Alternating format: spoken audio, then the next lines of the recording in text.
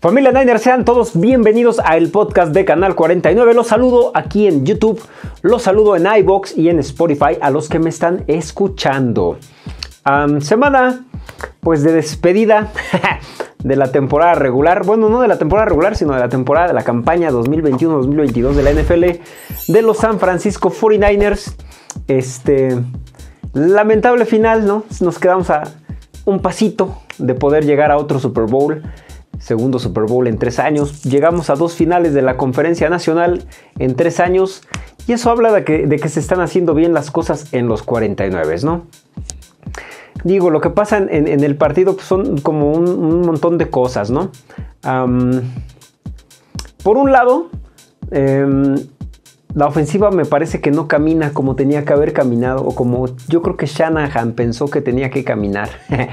Pero la verdad es que, se me hace increíble que solamente haya corrido 20 ocasiones eh, Shanahan el balón, ¿no?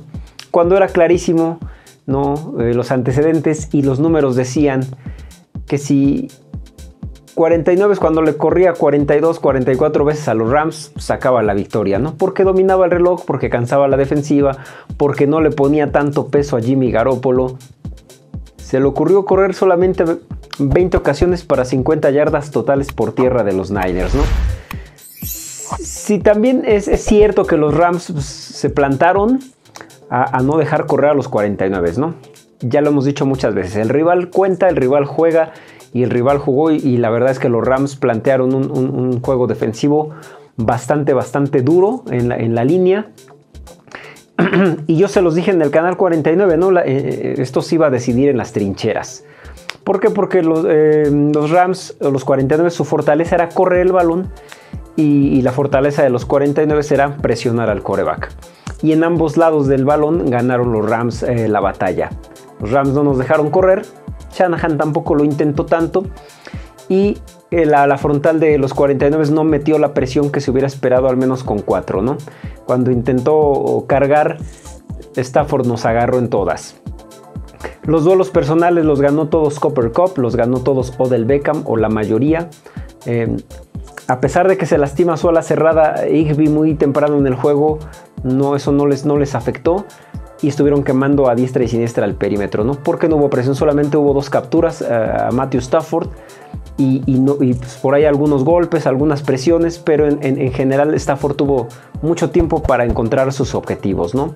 Entonces, en las trincheras se pierde el partido, al menos en las dos líneas más importantes. La línea ofensiva de San Francisco no funcionó. Yo esperaba que con Trent Williams pudieran eh, mover mucho mejor el balón. Eh, muchos estábamos preocupados, o se estaba muy preocupado porque Trent Williams no pudiera jugar. Pero se nos olvidaba que en la semana 18 Trent Williams no jugó y aún así los 49 sacaron el partido. Yo apostaba que estando Trent Williams iba a ser mucho mejor el ataque terrestre y la verdad es que de repente me sacó de onda que, Shanahan no buscó correr por su lado fuerte. donde estaba Williams, donde estaba Tomlinson, podía alinear, a Juszczyk, jugadas directas, intentó mucho más por el lado derecho. Y pues Bronskill y Compton pues nomás no dieron los resultados que se esperaban, ¿no? Em, sin embargo, con todo y con todo y el dominio que tuvieron los Rams en la primera mitad, los San Francisco, los, San Francisco 49ers llegaron a estar arriba por 10 puntos en el tercer cuarto, ¿no? 17 a 7 eh, en un juego que si bien no se, no se no parecía, o sea, no podíamos decir ya lo ganamos, pero parecía que San Francisco empezaba a tener el control de las acciones. Pues nuevamente pasó el síndrome de Shanahan, el síndrome de, sus Super Bowls, el, síndrome, el síndrome de Shanahan en momentos de presión no sabe manejar el encuentro, la defensa se desfonda, errores muy puntuales a la defensiva, ¿no? Sobre todo una secuencia, un par de jugadas que creo que son las que cambian todo, como aquella vez en el Super Bowl, donde en esa tercera y 15 Mahomes tira ahí el pase y se pierde el perímetro y la agarra Tyreek Hill, y ese momento cambia todo el partido y cambia todo emocional y mentalmente en, el partido y de ahí viene eh, el derrumbe de los Niners.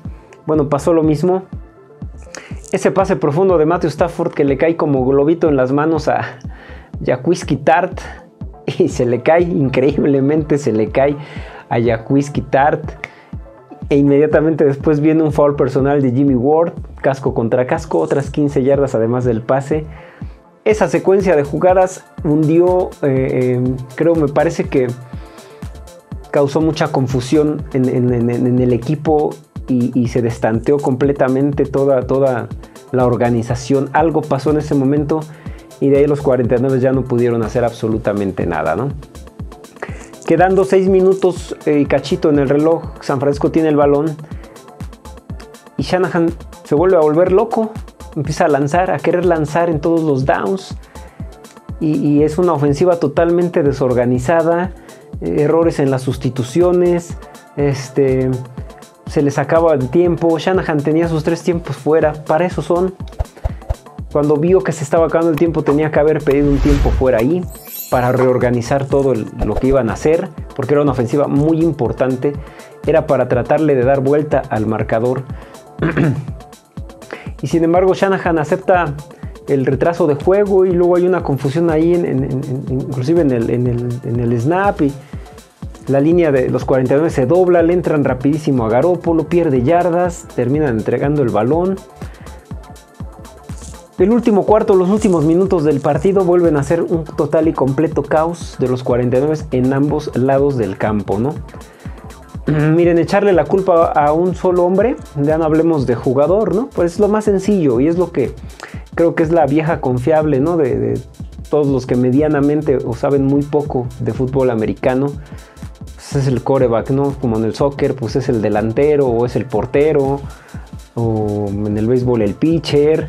¿no? Este, siempre es como, pues, eh, ante, ante la falta de conocimiento es muy, pues, señalo al, al, que yo conozco, a lo que sé, ¿no? Y creo que es, va más allá, fue, todo un error en conjunto, creo que fue una muy mala estrategia ofensiva la que plantea Shanahan en el partido, empezando porque no tenía que haber corrido solamente 20 veces, tenía que haber seguido eh, moviendo el balón con el Aya Mitchell, porque cuando ponía a Divo Samuel, los Rams sabían que iba con Divo Samuel y a Divo Samuel no lo dejaron hacer nada. Lo tenía que haber utilizado más como anzuelo en todo caso, no jugadas de play action, no sé, cantidad de cosas que pues yo tampoco me voy a poner aquí, este, así como le llamo ignorantes a los que piensan que nada más por un solo hombre se pierde, pues yo también me vería muy ignorante pensando que sé más que Shanahan, ¿no? Por algo planteó así el juego Shanahan, algo quiso hacer diferente, algo quiso plantear diferente y pues nomás no le salió, ¿no? Con todo y todo se iba ganando el juego 17 a 7. Em, pero errorcitos, errorcitos pequeños, detallitos. Por ahí también un foul personal de Al-Zahir. que no tenía que haber cometido. Le da otro primero y 10 a los, a los Rams. Fueras del lugar de los 49 en momentos que no tenían que haber sucedido. Etcétera, etcétera, etcétera. Si bien los Rams también eh, se equivocan, ¿no? En esa zona roja la intercepción de Jimmy Ward. Ah, fallan un gol de campo. Em, tuvieron ahí cosillas que también estaban dejando ir ellos. McVeigh quema sus tiempos fuera muy rápido en la segunda mitad. Creo que en ambos lados había nerviosismo, había mucha presión, había mucha tensión, eh, había mucho nervio, pero al final termina ganando la partida los, los angelinos, ¿no? Y lo ganan bien, hay que decirlo bien, digo, por ahí se habla de los árbitros, sí, hubo cosillas, pero tampoco fueron eh, determinantes como para decir, ah, es que los árbitros nos robaron, ¿no? No, la verdad es que no, creo que, creo que los Rams ganan y ganan bien. Siempre hay que saber reconocer cuando, cuando, cuando se gana y cuando se pierde, ¿no? Y hay que reconocer al rival que también juega y me parece que los Rams, tal vez no mucho, por tres puntitos, pero fueron mejores que los 49, ¿no? Hay que decirlo, fueron mejor equipo en el terreno de juego, así como hace ocho días lo dijimos de, de, Green Bay y hace 15 de los Vaqueros, San Francisco fue mejor en el campo, los Rams fueron mejor equipo en el campo supieron explotar sus, fortalezas, su ataque aéreo, Copper Cup, y, e involucrar más a, Odell Beckham Jr. Em, si bien tampoco pudieron correr tanto, 60 yardas me parece, Matthew Stafford sacó, sacó lo que trae, ¿no? hizo lo que tenía que hacer y, se va con tres anotaciones, una dos anotaciones y una intercepción. Eh, Garópolo igual, dos anotaciones, una intercepción. Este, por ahí ya les daré bien los números el, jueves, ¿no? Tienen una actuación parejona Garópolo y, Matthew Stafford. La, intercepción de Garópolo al final pues ya viene por una cosa circunstancial, nuevamente mucha confusión, saca, un, saca, saca el down y me parece que todavía ni siquiera sabían bien qué iban a hacer. Le entran como bólido a Garópolo, sale corriendo muchos podrán decir es que para qué, aventó el balón así, pues es que si no lo aventaba, todos lo iban a agarrar. Iba a ser cuarta y 20, las que quieran, tal vez 30. Ya en cuarta y 30, ¿qué se podía hacer? No? Iba a salir la misma gata nomás que revolcada. Llegar a esa instancia pues fue el cúmulo de muchas cosas, de dejar ir muchas oportunidades. Los 42 tuvieron oportunidad para matar el juego antes y no lo hicieron. Esa cuarta, no es posible que teniendo segunda y una, te paren y te hagan en tercera y dos, ¿no? Y en tercera y dos se te ocurra esa corrida con Juszczyk. O sea, nuevamente vuelve a ser la misma que no le había salido contra los empacadores y ahora con Juszczyk y lo detienen y pues estás jugándote el pase al Super Bowl, mi chavo, ¿no? Yo, yo, Pablo, yo me lo hubiera jugado, ¿no? Eh, cuando entran y, parece que se la van a jugar, dije, sí, aquí está, ¿no? Es que ir con todo y no, pues nada más intentó provocar y pues no, termina entregando el balón. Ahí es donde viene la casi intercepción de Jacques Quitar y la calabacea, ¿no? Se le va, Jacques Quitar dijo ahí que pues no este, que él asume toda la responsabilidad, bla, bla, bla, bla, bla. Miren, este, dicho todo esto y dicho el, por qué creo yo que se pierde este partido, no se pierde en las trincheras, se pierde porque no hay estrategia, se pierde porque a la defensiva es exhibido el perímetro, ¿no? Dándole tiempo al coreback, pues se ve que no tenemos esquinas, que es parte de lo que tiene que buscar este equipo para, para, para mejorar la siguiente temporada, ¿no? Para buscar dar este, estos dos pasos que nos han faltado en los últimos tres años, ¿no? Llegar al Super Bowl, ganarlo. Hay piezas que faltan ahí, se gana como equipo, se pierde como equipo, yo insisto en esto, ¿no? Eh, Respeto total y completamente quien, quien siga pensando que por una sola persona se pierde. Cada quien sus, opiniones, cada quien sus perspectivas. Yo creo que es todo un equipo el que, el que hace las cosas, ¿no? pero miren, ya qué más se puede decir, ya qué más podemos decir, ya, ya qué más podemos eh, señalar o, no sé, decir de tirarles calabaza o tirarles a esto si es que perdimos por esto. Y, pero bueno, otros sí, sí lo podemos hacer y, lo vamos a, y lo vamos a estar hablando, ¿no? Hay muchas cosas que no se hicieron bien, hay otras que se hicieron muy bien, pero no alcanzó, ¿no? Los Rams también pudieron haber perdido el partido también. Si ese balón lo intercepta Jacques Tart, tal vez, tal vez se podía haber acabado el juego, quién sabe, todavía quedaba mucho tiempo también. Entonces, no se sabe, ¿no? Para como estaba moviendo el balón San Francisco, pues no sabíamos si ya con eso se mataba el juego, ¿no? Quedaban como nueve minutos, algo así. Entonces tampoco era como que ya con eso ganábamos, no. vámonos por partes, pero esta vez lo voy a hacer diferente porque miren, ya se acabó la temporada, ya este, pues ya se van a su casita los, los, los 49, la directiva tendrá que replantearse muchas cosas, tendrán que platicar sobre el futuro de muchos jugadores y sobre necesidades que se tienen. Pero yo la neta por eso le llamo a este podcast Orgulloso 49er eh, Orgulloso Niner porque de esto les quiero hablar. O sea, miren, más allá del resultado que se dio, tristemente la derrota contra los carneros, ¿no? Y, se nos quedamos a un pasito del Super Bowl. Yo estoy orgulloso de este equipo, estoy orgulloso de lo que hicieron, estoy orgulloso de la resiliencia que, mostraron durante la temporada, de empezar eh, con todos estos altibajos, de estar 3-5 en la temporada, de que nadie daba ya un cacahuate, que ya se pedía que, fuera Shanahan y que fuera Garópolo y que fuera Demeco Ryans y que fuera John Lynch y ya que fuera todo, ¿no? Y que ya metieran a Lance desde la, desde la semana 8. El equipo se sobrepone, pelea con lo que tiene, con lo que puede y hasta donde le da, ¿no? creo que para todos es, más que claro que pues, la posición del coreback sí, es, una, sí es, un, es uno de los puntos débiles de, este equipo, porque Jimmy Garoppolo, si bien no es el peor coreback de la NFL, hay que decirlo, aunque muchos lo piensen, no es el peor coreback de la NFL, la verdad es que no. el peor coreback de la NFL no llega a dos finales de la Nacional. No por él, pero con el equipo no llega, ¿no? Se necesita tener algo para estar ahí pero tampoco es el mejor y está muy lejos de serlo. Entonces, la posición del coreback sí es algo que este equipo tiene que revisar y ya lo está revisando porque por eso se cambió tanto por Trey Lance y Trey Lance veremos si va a ser el futuro de, la organización. Pero yo estoy orgulloso de Garópolo, miren. Estoy orgulloso de, un, hombre que se, que se mm, tragó todo el hate o sea, todo el hate que se tuvo que tragar, yo leía columnistas, leía muchos analistas que decían que no recordaban o no recuerdan a un coreback al que se le haya odiado tanto por sus mismos aficionados, ¿no? Independientemente de sus resultados o de sus limitaciones o, de sus, de sus eh, aciertos que tenía, se le odiaba a niveles o se le ha odiado a niveles épicos a Jimmy Garoppolo. Se tragó todo ese hate y siguió trabajando y siguió y siguió luchando y siguió haciendo cosas. Miren, orgulloso.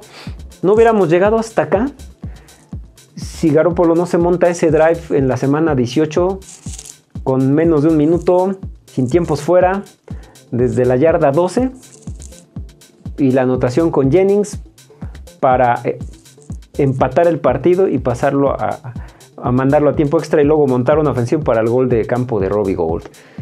El, Jimmy Garoppolo que montó la ofensiva o ayudó a montar la ofensiva contra Green Bay para el gol de campo de Robbie Gold. Miren, dicen, ah, pero es que le puso la ofensiva. Eh, él no hizo nada, no puso el gol de campo. Pues es por lo mismo que a lo mejor yo a veces cuestiono la grandeza de Tom Brady. Si lo vemos así, pues él le ponía los goles de campo a Vinatieri, ¿no? Y siguen hablando del más grande. Entonces, pues semos o no semos. Entonces yo estoy orgulloso de Garoppolo, de aquel juego contra Nueva Orleans de, juegos que dio épicos, de, veces en este juego demostró de repente que tenía con qué pase que le pone a George Kittle de touchdown. Eh, por ahí le vuela uno también a Kittle. Y esa fue la inconsistencia de Garoppolo toda, toda su estancia, al menos en San Francisco, ¿no? Pero yo orgulloso del coreback que tuvimos, yo, yo Pablo, le deseo lo mejor a Jimmy Garoppolo.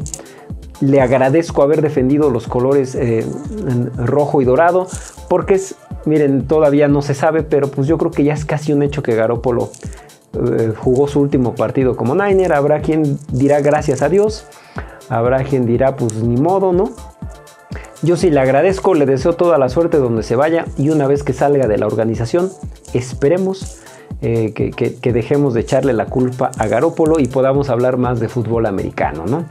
Este, lo siento por Trey Lance, la neta, híjole, pobre chavo, no sabe eh, los alacranes que se está echando en la espalda con esta afición, la neta. Ojalá se le tenga más paciencia a Trey Lance. Ojalá se entienda que es todo un proceso lo que va a tener que llevar Trey Lance. Ojalá se entienda que, no es tan fácil eh, ser un mariscal de campo de una organización como esta, con el pasado y los zapatos que se tienen que llenar y la presión que hay de Joe Montana, de Steve Young. No está fácil, entonces ponerse a manejar esta ofensiva no, va a estar fácil, pero ojalá la afición lo, ayudemos más y no seamos tan tóxicos porque pues no. Y ahora no va a ser Garoppolo, ahora va a ser que todo es culpa de Trey Lance. Entonces ojalá, ojalá se le dé chance a este chavo, ojalá eh, lo podamos dejar crecer sin tirarle tanto hate. Entonces orgulloso de Garoppolo. Corredores, orgulloso de Laia Mitchell, orgulloso, contento por el Laia Mitchell. En su año de novato rompió el récord de yardas de un novato en los 49 de San Francisco. Me parece que es un chavo que tiene futuro. Sí, el sistema de Shanahan da para, para eso y para más.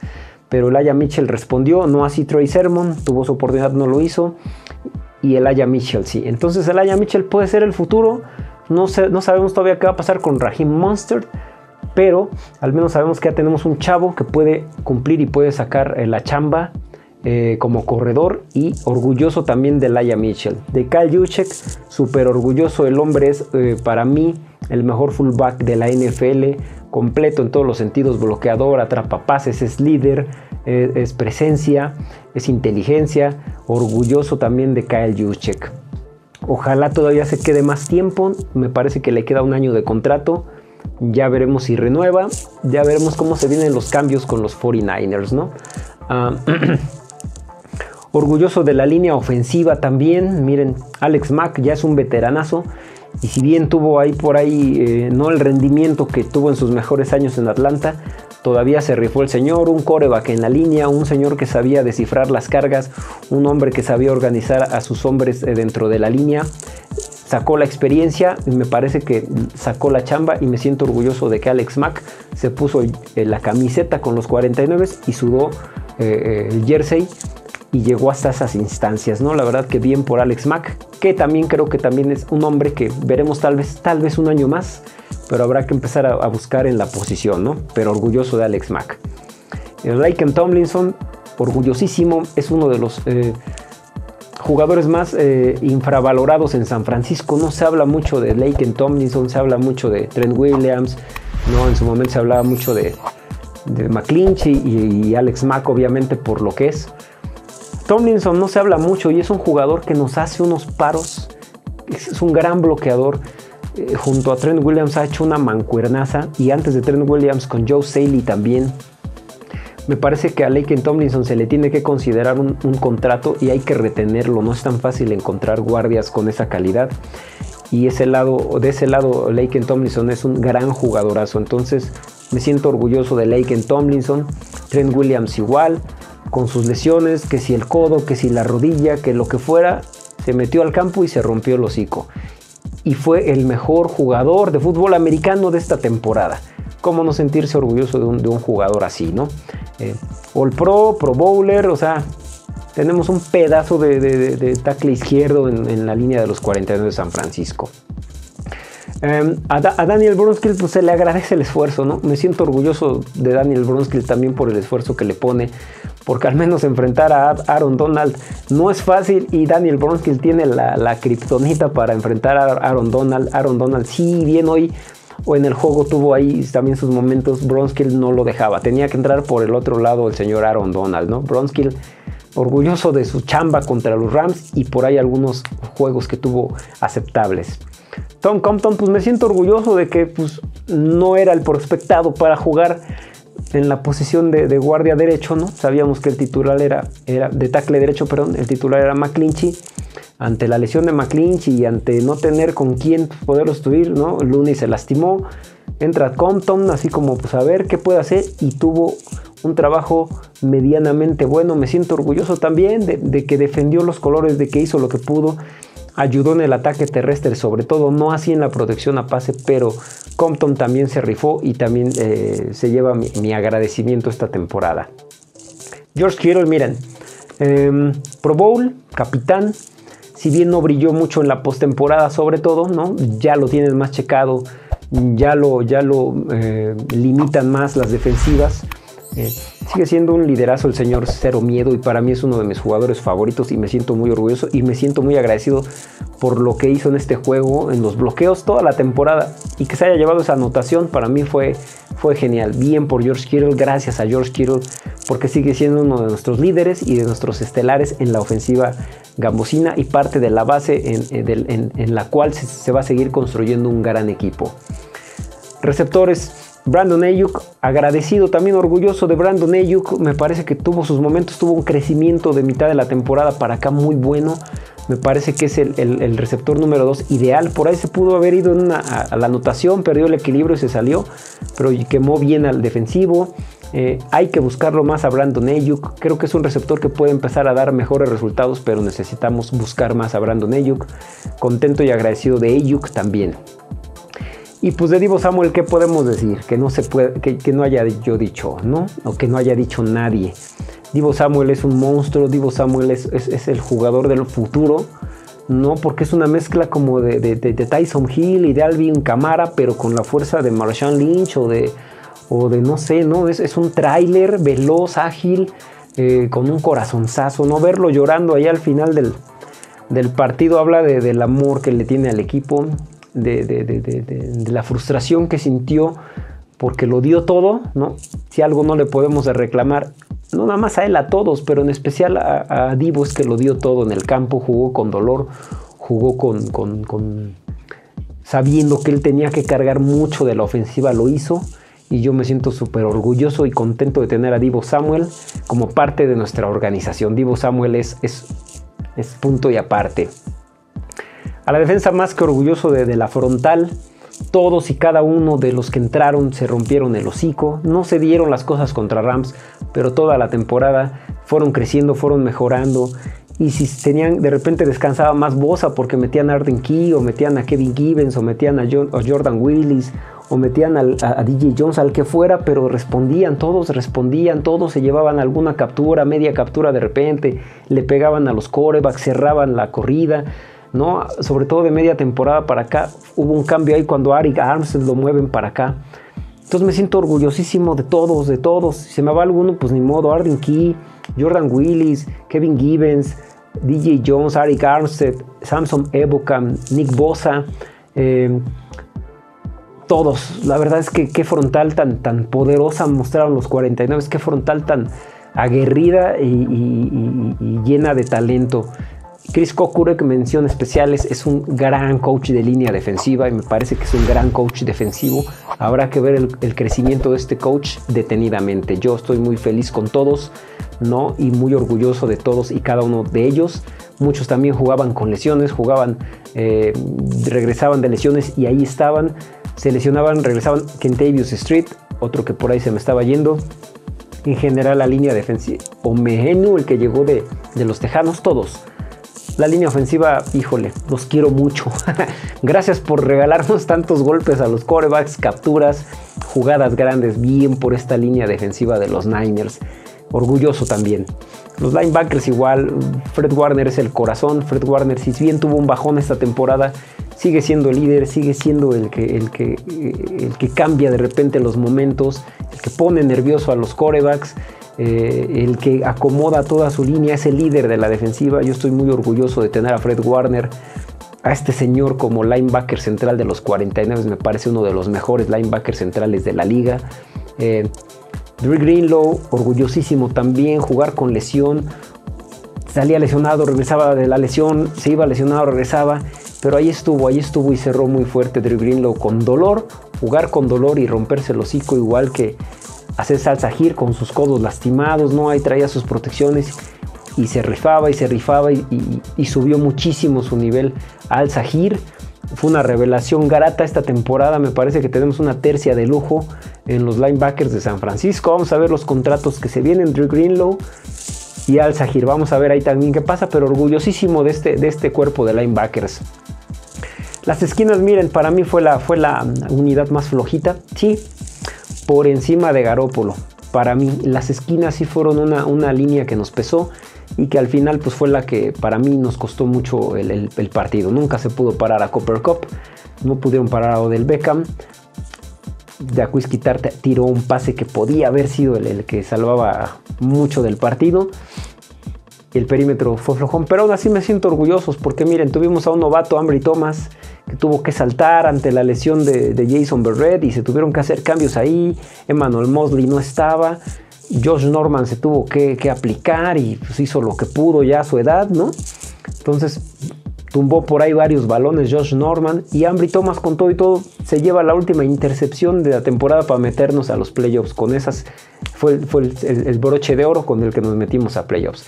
Entonces un novato que tiene mucho futuro y me siento orgulloso de tenerlo acá y creo que va a crecer muchísimo ese, ese chavo en, en la organización. Emmanuel Mosley me parece que está jugando a un excelente nivel. No fue tan quemado como Keegan Williams, que de Keegan Williams sí dio un muy mal juego contra los Rams. No la tenía fácil estar cubriendo casi todo el tiempo a, Copper Cup. La verdad es que hizo lo que pudo, pero es uno de los mejores eh, eh, esquineros níquel que, hay en la NFL, sin lugar a dudas. Veremos qué pasa con él, pero yo orgulloso de lo que le ha aportado a los 49. Si es que tiene que partir, agradecidísimo con Keegan Williams por muchas de las cosas que hizo que a veces no se ven, ¿no? en general el perímetro igual. Jimmy Ward se ha ganado mis respetos. Jimmy Ward es uno de los jugadores que yo más he criticado junto con Ari Armstead. ¿No? Eh, igual Ari Armstead se ganó mi respeto esta temporada. Eh, pero Jimmy Ward es un, es, un, es un, jugador que yo he criticado mucho porque siempre lesionado, porque se lo comían o porque se perdía. Le sigue pasando de repente, pero en general ha crecido mucho. Sigue teniendo errores de concentración, como ese foul personal que da. Pero al final creo que, que es un jugador bien intenso, es un jugador que es mucha, muy buena protección allá atrás y, me siento orgulloso de tener a Jimmy Ward en el equipo, igual que Jacuzzi Tart. Miren, no, no, podemos tampoco crucificar a, Tart, se equivocó, tal vez eh, hasta uno de colegial la hubiera agarrado, ¿no? No sé, no entiendo por qué pasan estas cosas, no sé por qué a veces el universo no se alinea, pero se le fue el balón de las manos pero no lo vamos a crucificar por una jugada. O sea, no, podemos decir perdimos por culpa de Jacquis Quitar. Pues tampoco, ¿no? O sea, hay que ver todo lo que hizo en la temporada. Creo que fue uno de los jugadores que más eh, se rifó. También con sus lesiones, jugaba con dolor, venía de lesiones, lo que sea. Pero ahí estuvo y fue, y fue un hombre muy seguro en, la zona profunda. Si se ha llevado esa intercepción, otra historia hubiera sido. Pero, pero también estoy orgulloso de tener a Jacquis Quitar en el equipo a pesar de sus lesiones. Eh, equipos especiales igual. Me parece, y, lo que más les tengo agradecidos a los equipos especiales fue el juego que nos dieron contra los empacadores. Yo de verdad orgullosísimo de cómo sacaron la cara. Una unidad de la que casi no se habla y lo hizo bien. Después de haber tenido una, temporada flojona, lo hizo muy bien los equipos especiales de los Niners. Estoy agradecidísimo con Robbie Gould, con Mick Wichinowski, con Jordan Willis, con Talanoa Fanga, con el Snapper Pepper y con todos y cada uno de los que entraban, Arik Armstead, eh, todos los que entraban a equipos especiales, muy bien por ellos. Hasta Kyle Juszczyk, que de repente estuvo que estar de, detenedor de, contra los vaqueros, creo fue, porque se lastimó Wisnowski, ah, contra los Rams, porque se lastimó Wisnowski, ¿no? Entonces, pues miren, en general, y, con los coaches también, de Michael Ryan fue una grata sorpresa. Sí, al final le comieron el mandado, pero pues le faltan piezas, ¿no? Pero de Michael Ryans fue una grata, grata, grata sorpresa. Yo no me la esperaba de Michael Ryans en su primer año como coordinador defensivo. Ojalá no sea el último con los Niners, pero hizo una defensiva, la tercera mejor defensa de la liga. De Michael Ryans orgullosísimo de tenerlo en nuestras filas, de que haya cargado con esta defensa, con todo y sus parches, la tuvo en el nivel top de la NFL orgullosísimo de Demeco Ryans y orgulloso de, Kyle Shanahan. Sí, Kyle Shanahan sigue teniendo este problema de que deja ir partidos, de que tiene ventajas, no sabe matar al rival, no sabe eh, cerrar partidos, no sabe, no sé por qué razón, supongo que es una cosa mental o psicológica, algo pasa con Shanahan, no encuentra las maneras, no encuentra los motivos, tal vez es la falta de un mejor coreback que lo tuvo con Matt Ryan y también se le fue el Super Bowl, entonces algo pasa con Shanahan, ¿no? Sin embargo, estoy orgulloso del coach que tenemos porque miren, cargar este barco llamado los 49 de San Francisco de igual forma con el pasado que trae, con los zapatos que hay que llenar de Bill Walsh o, de, George Shepard o hasta de Steve Mariucci y Jim Harbaugh, que está cañón, ¿no? Y, Shanahan se ha, aceptado el reto y, y se ha puesto la camiseta y miren, ¿cómo, ¿cómo se puede criticar un proceso? ¿Cómo podemos pedir que se vaya Shanahan si nos ha metido a dos finales de conferencia en tres años? En tres años, señor. El año pasado fue una tragedia lo de los Niners con tanta lesión, con el COVID y todas estas cosas. Pero Shanahan ha sabido sacar talento de donde se puede y ha sabido ir acomodando las cosas. Le falta dar ese paso más, sí, pero es todo un proceso, un aprendizaje. Bien lo comentaba alguien ahí en la plática postgame. Ahí está Andy Reid. Andy Reid. Muchos saben, muchos no saben los añísimos que lleva en la liga, los años que lleva en la NFL, ¿no? Y vean hasta dónde ha llegado. Ya ganó un Super Bowl, ya llegó a cuatro finales de conferencia seguidas, se quedó otra vez en la antesala y es un viejo lobo de mar y tiene a Mahomes y tiene a Tyreek Hill y tiene a Travis Kelsey y tiene a Harman y tiene todas estas armas y se quedó a un lado. ¿no? Porque a veces hay cosas en un partido que suceden que no siempre son las estadísticas o si tienes al mejor pasador. Miren, Josh Allen, eh, Patrick Mahomes, Tom Brady, Aaron Rodgers, Dak Prescott, ¿dónde están? ¿Dónde quedaron? Igual que Jimmy Garoppolo. Y no comparo a Jimmy Garoppolo con estos señorazos, ¿no? Bueno, Dak Prescott no, con los otros pero se quedaron a la orilla. ¿Por qué? Porque no nada más es el coreback. O sea, imagínense a, Mahomes tirando esa intercepción al final en el tiempo extra, ¿no? Y pues dicen por ahí, yo no, he visto, pero dicen por ahí que también ya quieren, que ya ya hay idiotitas en Kansas City pidiendo fuera Mahomes y fuera Reed. Imagínense eso, ¿no? habla de, los cerebritos tan chiquitos que a veces hay en la afición de muchos equipos, ¿no? Entonces, creo que estoy muy orgulloso del coach que tenemos porque quiere al equipo. Yo lo vi en la conferencia de, prensa quebrado. Eh, con el sentimiento en, la garganta, igual que a Garópolo, ¿no? Con esta, con esta emoción, con este dolor, con esta. Porque se ve que quieren al equipo, que quieren a sus compañeros, que querían llegar más lejos, que querían cumplir el sueño. Y eso es lo que importa, tener coaches que, que, no van y nada más cumplen con el trabajo, sino que quieren al equipo, que quieren a la organización y que quieren llevarlo a lo más alto y yo confío en que lo van a hacer. Entonces miren señores, estoy orgulloso de ser Niner, estoy orgulloso de este equipo, de todos y cada uno de los elementos que se partieron el hocico defendiendo estos colores esta temporada. También me gana la emoción, también me da sentimiento, también se me hacen los nudos en la garganta cuando hablo de todo esto, porque a mí sí me duele y a mí sí me encabrona cuando y perdón por la palabra, pero cuando vienen todos estos señores a, decir, a ponerle apodos a los jugadores de los 49, miren, a lo mejor soy un exagerado, ¿no? Yo quiero tanto a este equipo que yo adopto a los jugadores como si fueran de mi familia. ¿A quién le gusta que le pongan apodos a su mamá o a su papá o a sus hermanos? Cabrones externos, ¿no? ¿A quién le gusta que estén insultando a sus hijos o a sus primos o a sus abuelos? a nadie. A mí me molesta mucho. Yo, yo entiendo que, tengan coraje y que quieran y vengan y me dicen y, me, escriban. Es que Jim Garoppolo se equivoca y sus números. Ah, ok, cuando argumentan y cuando dicen estas cosas está chido. Pero cuando nada más vienen a, poner estupideces y apodos, eso a mí me molesta mucho porque me lo tomo muy personal. Porque yo los quiero como si fueran mi familia, a todos los miembros de esta organización, ¿no? Entonces, este, saquen sus traumas de otra manera, carnales, o, infórmense más o aprendan más del fútbol americano porque a veces tienen, es tan chiquita, tan chiquita su visión que no les da para más. Entonces, miren, ustedes tienen toda la libertad de escribir lo que quieran en los comentarios. Yo tengo también toda la libertad en este canal de leerlos, de contestarlos o de eliminarlos, porque si van a venir a insultar a cualquier jugador, no nomás a Garópolo, si van a venir a insultar a cualquier jugador de los 49, su comentario va a ser eliminado automáticamente. No, no se metan con mi familia, porque mi familia son los 49 de San Francisco. Pero bueno, hasta aquí la dejamos, señores. Estoy contento y estoy orgulloso por esta temporada. Estoy feliz. Me quedé con las ganas de más, sí, ¿no? Siempre se va a quedar uno con las ganas del anillo. Pero le ganamos a los vaqueros. Le ganamos a los empacadores, nos metimos a playoffs, le callamos el hocico a muchos analistas o pseudoanalistas que decían que no íbamos a llegar a ningún lado. Y, miren, final de la conferencia nacional. Bravo por esos 49, orgulloso de ser eh, Niner, forever, hasta la muerte. Entonces, pues bueno, señores, este, no me queda más que decir e invitarlos a que no se vayan de Canal 49, ¿no? Ya saben que desde 2018 que empecé este canal, yo no dejo de subir contenido semana tras semana, porque se vienen un montón de cosas y de temas, señores, que para qué les cuento, miren, va a haber mucho tope salarial. Se habla de arriba de 200 millones para la próxima temporada.